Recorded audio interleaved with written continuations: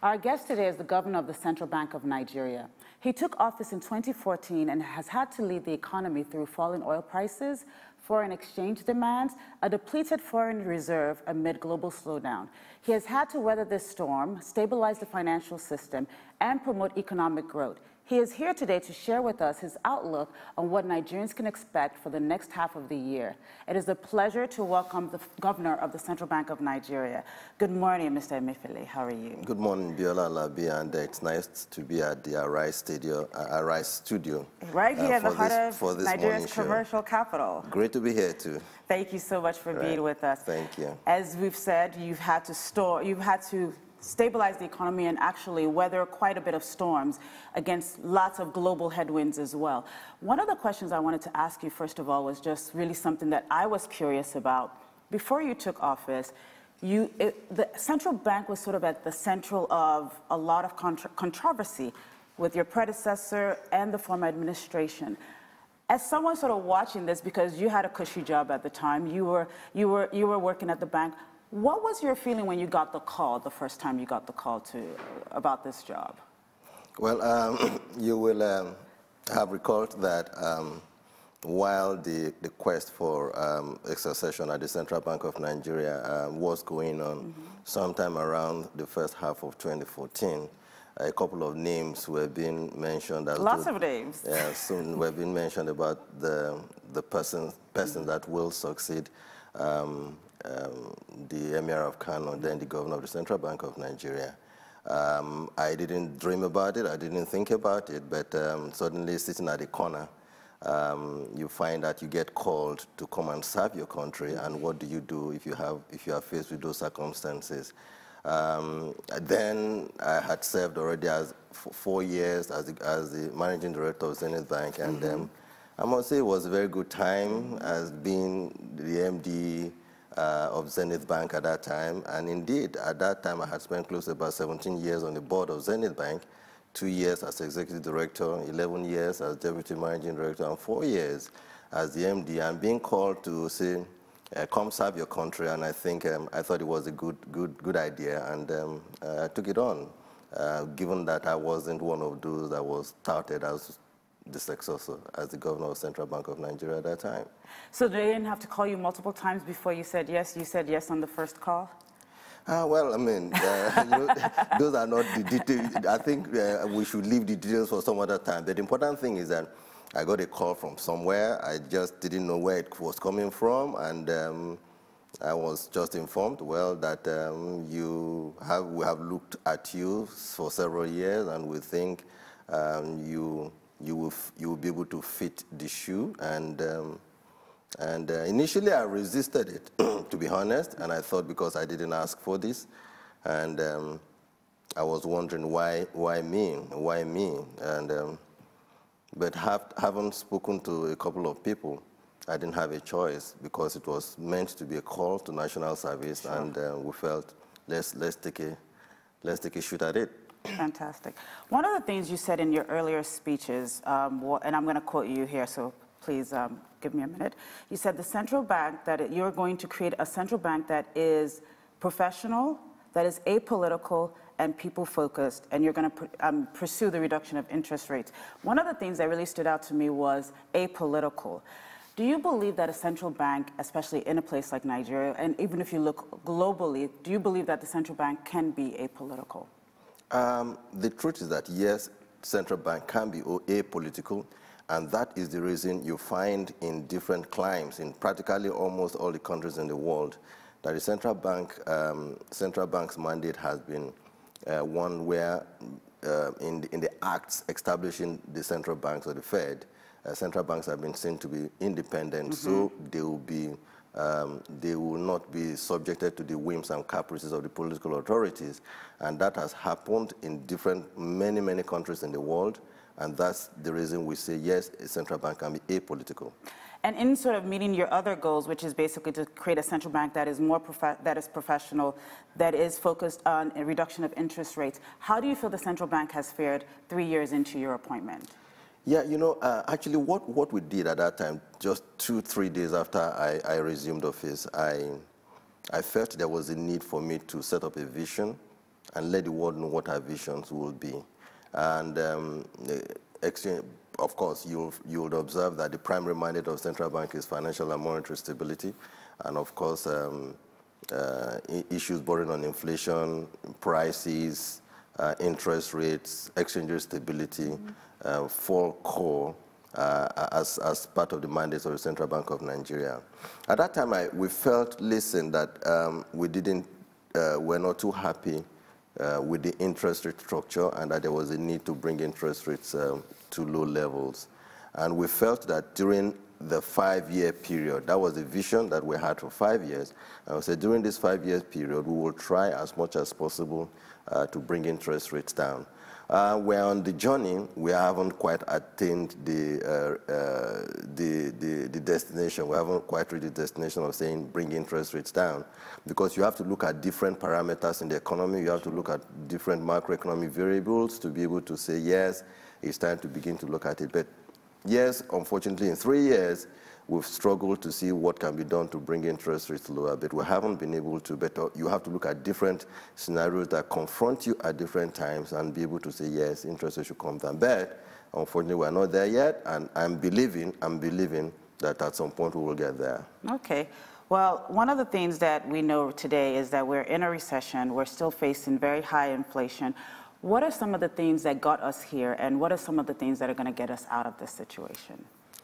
Well, you see, um, in 2008, 2009, that was when we had what I can call the beginning of the, the, the global shock that we, we, we, saw. And Nigeria, just like very many other countries in the, in the world, um, has been faced with um, economic headwinds. Mm -hmm. And this economic headwind had to do primarily one, um, with the fact that we saw um, a drastic drop in commodity prices. Mm -hmm. And for Nigeria, a drop in the price of crude oil, which is, I, I use the word, our mainstay.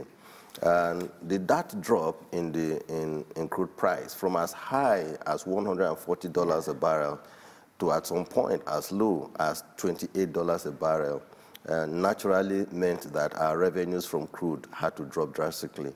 And with the revenue on, from crude dropping drastically, we didn't have a choice but to face the realities um, of, the, of, of, of, our time. So that was, I say, one was uh, the drastic drop in commodity prices. Secondly, we, we've seen geopolitical tensions all around the, the world, geopolitical tensions around the trading routes in different parts of the world. And what happens when you have geopolitical tensions, like you have Russia uh, and Western powers, or Iran, Saudi Arabia, sure, sure. what you find happening is that their flow of capital get impacted, whether positively or negatively. But in this case, for commodity exporting countries or, for emerging markets, emerging and frontier markets, uh, we've seen flow of capital either reduced or indeed, in fact, reversed to the uh, to the Western world. Mm -hmm. That also was contributory to it, has been contributory to this. But of course, um, the, third, the third reason um, is, is the US Fed, United States Fed normalization. Mm -hmm. uh, what we've seen uh, if you recall, around 2009, we started, uh, the United States Fed started what was called the uh, quantitative easing. Yes. Quantitative easing was, is like trying to stimulate the economy by injecting liquidity into the system. In one fell swoop, the United States of America injected close to about $900 billion into, into its economy. And thereafter, it started what we call tapering. Mm. Okay, the period of tapering and, and quantitative easing meant that a lot of flows of funds were injected into, into the U.S. economy. And because the U.S. economy is, is naturally the largest economy in the world, you find that those funds had to flow even outside, outside the United sure. States. Those funds flowed, flowed to um, emerging markets and frontier markets like Nigeria, mm -hmm. and that was, that was why we saw some of those uh, funds flowing into, in, into our own area. But with normalization, the United States Fed started to sell assets and raise, raise rates. And that process of selling assets and raising rates naturally meant that there had to be flow reversal mm -hmm. back to United States. To the extent that during the last quarter of 2016 alone, we saw almost close to about $48 billion flow from the emerging and frontier markets back to the, to, to the, to the, to the Western powers. That process naturally had to result in um, you know, alteration of capital flows and of course has its own adverse, adverse impact on economies and hence we found ourselves in, the, in, in, in recession. But of course, um, of, of course, inflation also, also compounded our problem because uh, of the adjustment in the exchange rate. Um, at that time, it was about 155, mm -hmm. adjusted to 168, from 168 to 197, and 197, that's here where we are right now. When you find an adjustment in currency, naturally results in increase in prices mm -hmm. of goods, okay? The increase in petroleum price from, uh, from as low as 86 naira to the dollar also impacted, I mean, to 145, also naturally impacted on prices. Increase in energy prices like um, the tariff, tariff also contributed to this. So that's why where, where we are right now. But I think um, um, things are looking up. Uh, we've seen um, um crude price sort of stabilize at between 45, sometimes 48, gets to 55 and all that. And given that budget has been pre, pre, predetermined at about 42 naira to the dollar, and also hoping that we're able to continue to um, achieve some stability in production, in, in, production of crude and export of crude, then we should be able um, to get ourselves out of, out of, out of the situation. Um, you will also notice that inflation, inflation trended up from as low as about 9.9% uh, percent mm -hmm. in January of 20, 2017, no, of 2016, of 2016, went to as high as almost 18.8% as of December, January of 2017. And with the actions that have been taken, we've seen inflation trending downwards from about 18.8 to about 16.4, 16.24% that it was uh, in the month of May. We are hoping that as we continue to see these, these, these signs, uh, we should see some improvements in growth in the gross domestic product. And indeed, the signs are there. Mm -hmm. In 2016, we went through uh, the recession. Yes. Um, I would say yes. Unfortunately, we're still in it, but we've seen uh, some improvement during the, during the fourth quarter of 20, um, 2016. Um, growth was negative 1.72 percent, mm -hmm. but during the first quarter of uh, 2017, it improved to negative 0.52%. That is a massive improvement, and we're hoping that uh, barring any um, shocks, here we're talking of exogenous or yes. internal shocks, if this trend continues, we should be out of, out of, out of the woods soon. Okay. We're going to take a short break. When I come back, I want to talk a little bit more about some of the shocks, and then we're going to get into, I'm sure, something that a lot of people want to hear about, which is uh, around foreign exchange, because that's really a place where we've had a lot of activity and monetary policies, and would love to get some of your idea on some of the things that led to some of the decisions you made. Thank you. Um, we're heading for a short break here on the morning show, but we'll be right back with our special guest, Mr. Godwin Emefiele, when we return. Thank you.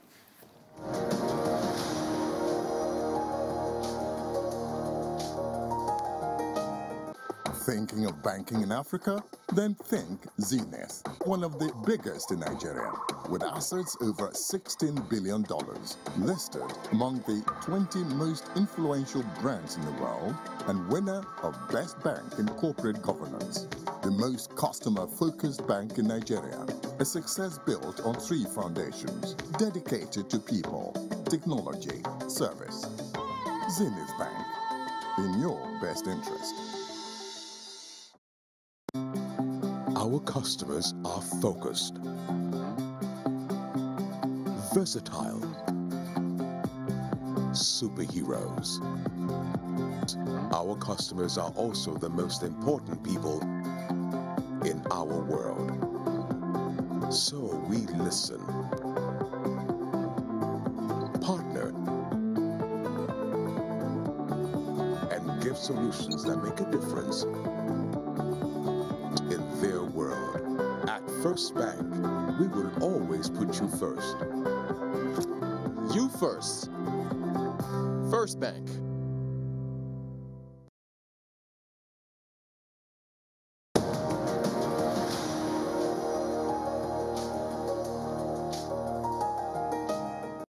Welcome back. This is the Arise News Channel. You're watching The Morning Show with me, Biola Labi.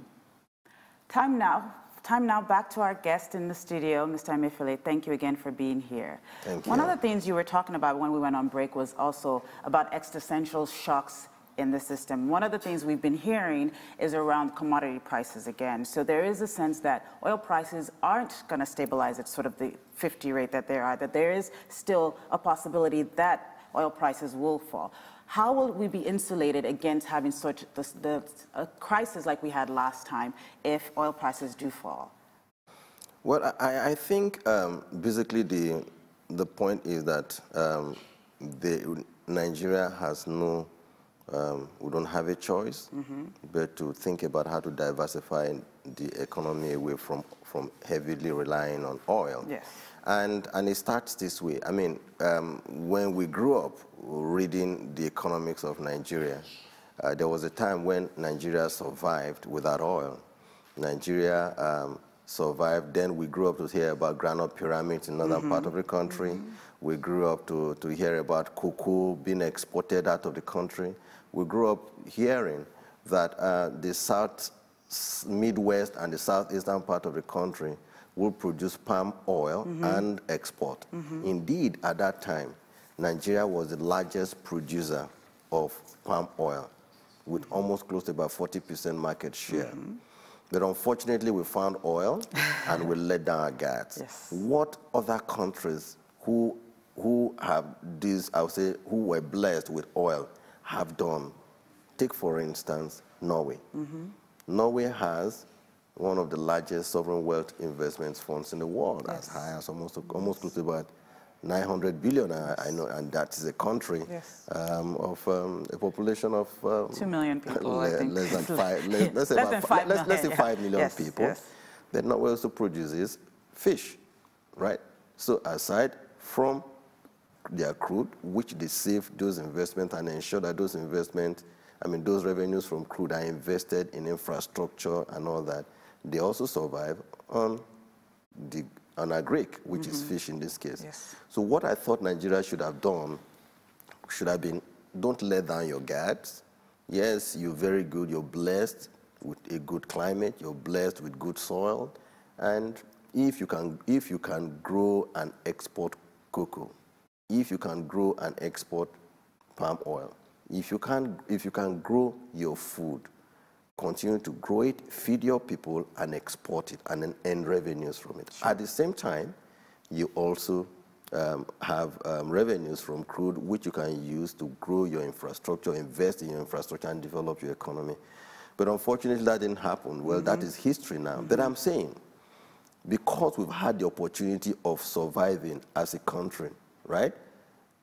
on revenues from non-oil sectors. Yes. We do not have a choice but to diversify our revenue base from heavily relying on oil to these agricultural sectors. Fair uh, enough. Right. One of the things we've noticed, I mean, which is, this is a long plan. I mean, this is a long-term plan. So in, in a way, it's great that, I mean, I know one of the things that your, the central bank has done is really focus on developing the agricultural sector. But at the same time, people come, people have come and they've complained about high interest rates. The people can't invest the way they want to invest. They can't get access to finance because of the interest rates. So one of the things I know you've you've been uh, advocating is PAVE, which is which you just mentioned, which is produce, add value, and export. For us to really catalyze and almost sort of reinvest in the agricultural sector and rediscover this sort of export value where are we going to get the in investments from, number one, and how are we going to get lower interest rates? Well, you see, um, the point first, first is that, like I said, um, the Central Bank of Nigeria has, over the last few decades, um, been involved in development finance activities. Yes. What that meant is that, and the Act gives the central bank the powers to do what it is mm -hmm. doing. So what central bank has done is to say, look, with some liquidity that it has at its disposal, let's make this available to fund say, agriculture through our commercial agricultural credit scheme.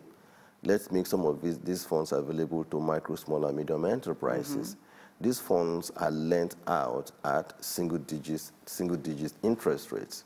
So what we're saying is that, well, in the absence of us being able to, I would say, globally, I mean, within Nigeria overall, be able to achieve a low interest rate because agriculture or micro small businesses cannot grow at double digit. We have to accept that mm -hmm. fact.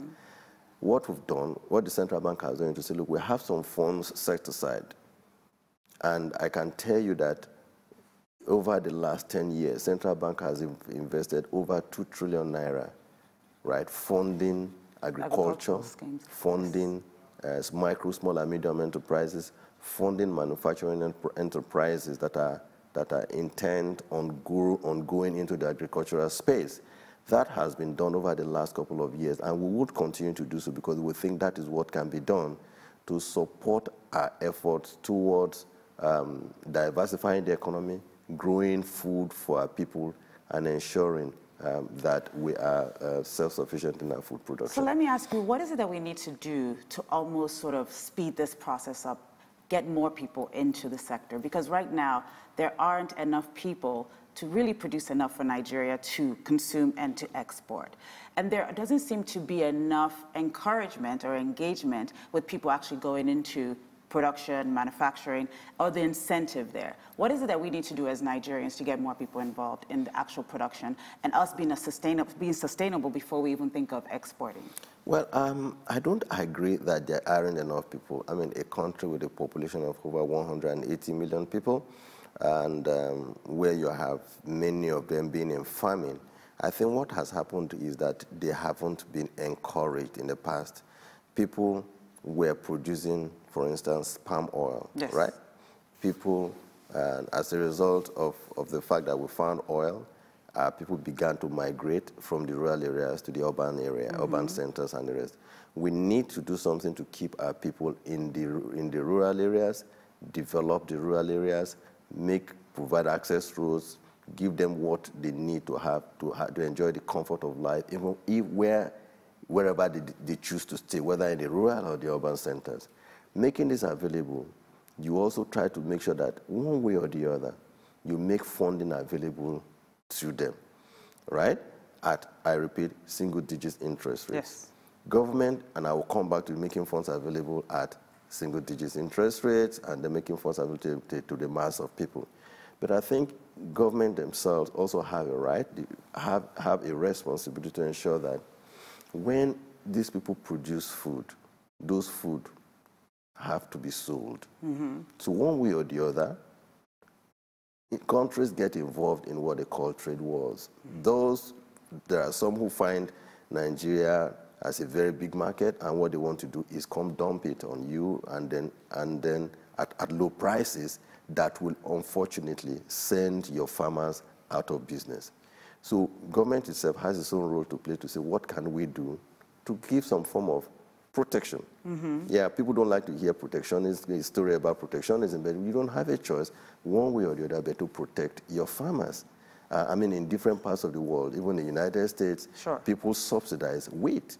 So they even they, they give they give farmers money to, to, to say produce the wheat, they will take the wheat off you, and then either will give them out or sell them at sure. cheap prices. Sure. So one, those are one ways. Those are some of the ways you could protect protect your farmers.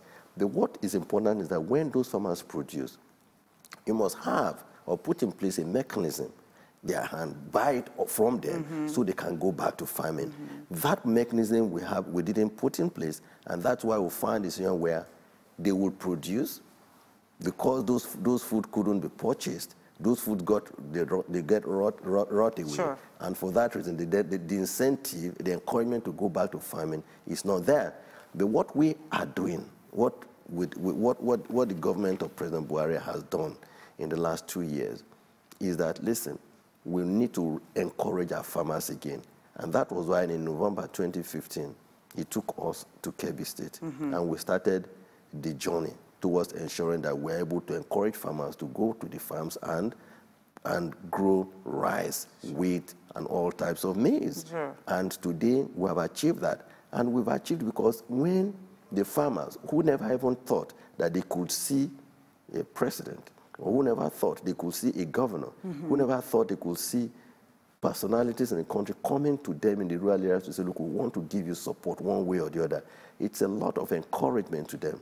And by doing that, you make them go back sure. to the farm. Doing that, going back to the farm, they produce the rice, they produce the wheat, put in place a mechanism where those rice is bought off them, they can go back. And so that is the way you improve the wealth of your people. Mm -hmm. And that is what the government has done in the last two years. And I'm happy to, I'm happy to say that we've achieved some success in that direction. I believe so. I mean, I know that the, there's been a lot of positive, um, positive feedback on the rice um, scheme. And I think that there is also some movement on palm oil, um, but palm oil is obviously a long-term investment. And one of the things that we know is that there are also multinationals that are coming in to invest in the palm oil ecosystem.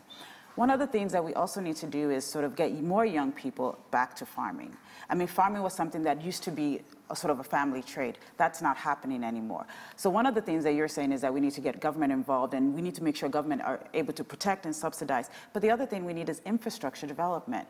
What do you think that we need to do around infrastructure? Because, for example, by the time tomato gets to the south from the north, there are no roads, there are no ways to get these things into people's hands. And I know we need to actually talk about foreign exchange, so we're going to park that conversation. And if we have some time, I want to pick that up with you because I know people are watching right now to talk to you more about that. So my first question around the foreign exchange policies and also the monetary policies that we've seen over the last three years that you've come to office, you said it in the first, um, in one of your first statements. We went from 155 to 197, and then also kind of almost been in this place where we were going to free float and we weren't going to free float. What are some of the things that you believe that the, as a, as a bank, that you've done right in sort of dealing with the issues around the foreign exchange shortage? Well, I'll also uh, ask you what the okay, things that you wish but, you had but, done better. But you know, um, the, the point is that in the, we, like I said earlier, we're confronted by the economic headwinds. Sure which resulted in a drop in, commodity, in, in commodity price, mm -hmm. and in this case, the price of crude from as high as 140 to as low as 28, and now sort of stabilizing at between, say, 47, 48 to about 55. Um, confronted with those challenges, where there, there, there wasn't enough, enough for Forex to meet the demand of those who needed to import, um, we took a couple of countervailing actions. Um, um, for instance, um, we had to adjust the currency. Mm -hmm. Then from 155 to 168, 168 to 197, and now we're where we are um, right now. I haven't taken those decisions, and in indeed, those decisions were very painful because when you're adjusting currency, it, it has its own attendant negative impact on the economy and the rest of them. Haven't taken those, those actions, we've still felt, and we felt the essence of that is to encourage flow of funds into the country so supply can be deepened. Mm -hmm. Unfortunately, we didn't quite achieve that. And so we had to look at um, other demand management measures. And uh, haven't, haven't taken a few actions there of demand management where we had to say, look, there are certain items that um, if we can produce them in the country, that why really, why really um, import them? Why import them, or why allocate foreign exchange for those purposes? And those were some of the actions that we took. And I must say that those demand management measures have worked. And that's why today we're talking about um, um, improving the wealth of our farmers and rice and palm oil and the rest of them. People are gradually going back, back to them. But of course, haven't, haven't taken price on. We've also taken on demand. Sure. At some point, you needed to come back and look at what, what we need to do something about supply. Mm -hmm. And what we've done in the last couple of, in June 2016, we, we, we introduced the flexible foreign exchange market uh, scheme. And uh, since then, we've been, try, we've, been, we've been adopting different schemes mm -hmm. towards ensuring that it succeeds. And I must say that what we've done during that period, um, in, in, we, we tried to dissect the market to say where, what is responsible for the hike in the exchange rate. Mm -hmm. And we kept looking at the various uh, factors contributed to that. And I must say that luckily we've been able to, to, to, to track it. And at this stage, um, taking some of the action that we've taken between, say, the beginning of this year up till this time, you could see the exchange rate dropping from as high as 520 to a range of between 360, some 357 to as maybe 365, 366 that it is right now is because of the action that we have taken. Okay. Um, basically to situate that, how do we ensure that the Central Bank of Nigeria is not the only contributor of foreign exchange yes. into the economy? And in the last 10 weeks, for instance, we've seen um, flows uh, returning back into the country uh, over, uh, over $2.5 billion mm -hmm. has mm-hmm. come in. What that tells us is that, well, we need to do a, a few more things, and I'm believing that as we do some of those okay. things, I'm going to go to break, improve. but when I come back, we're also going to talk about the, the um, 41 items that you mentioned in your, in, um, and talk about sort of what, what, are the, what, what did we expect and what can we expect going forward with some of these items. We're going to take a quick break and we'll be back. Time now for a short break on the morning show, and we'll be back with the governor of the Central Bank of Nigeria. Thank you.